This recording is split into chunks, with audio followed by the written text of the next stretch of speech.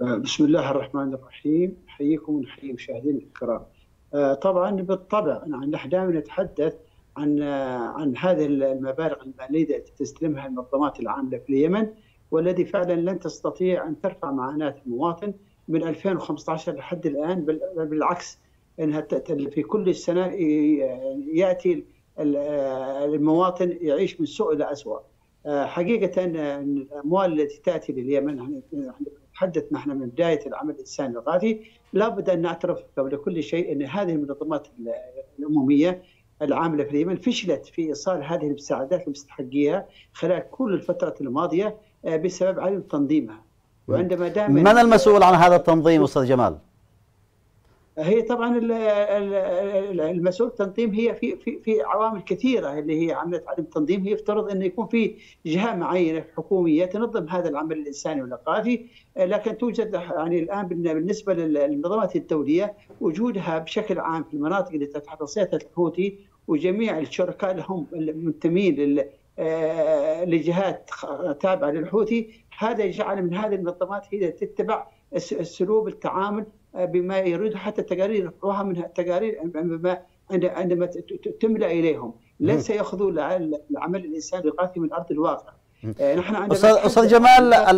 هناك حديث بأن ضعف الأداء الحكومي هو السبب الرئيس في كل هذا الهدر لكل هذه الأموال والمساعدات وعدم وصولها إلى مستحقيها بل على العكس أصبحت وبالا هذه الأموال لدعمها لميليشيات في الداخل. اولا قبل كل شيء إن الحكومة اليمنية هي هي لا تستلم الأموال ولا هي تقوم بتوزيع العمل الإنساني الغاثي بالعكس هي هي فخامه الرئيس لكن الدستور اليمني يجرم ويحرم عمل أي منظمات دون أن تكون الحكومة والدولة مشرفة على عمل هذه المنظمات وتعلم أين يذهب كل ريال وكل فلس فما بالك ب 20 مليار دولار؟ طبعا هذه المبالغ المالية توقع الاتفاقيات الرئيسية عن طريق وزارة التخطيط وهي المسؤول المباشر في عملية الرقابة والمتابعة في هذا المجال. يعني هذا مجال بشكل أساسي إنما هي المنظمات الدولية ليس موجودة في المناطق المحررة بحيث ان تقدر تحاسب. البنك المركزي في في عدن ولا هذه الأموال تأتي من بيد الحكومة أو أو السلطات المحلية، لكن زي ما تفضلت إن يعني لا يصح ولا ولا ولا هو من, من, من, من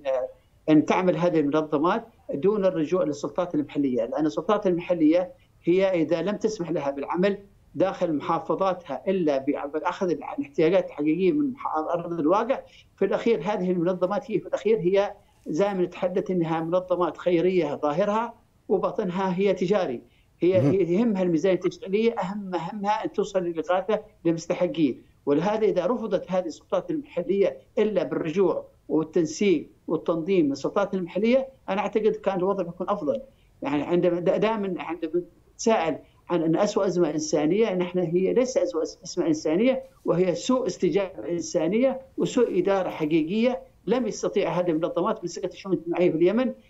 لن توصل هذه المساعدات تنظم هذا العمل الإنساني الغاثي وغالبية المبالغ المالية أو الاغاثه توصل 85% إلى المناطق التي تحت سيطره الحوثي اللي هي باعتبارها إن أكثر عدد سكان.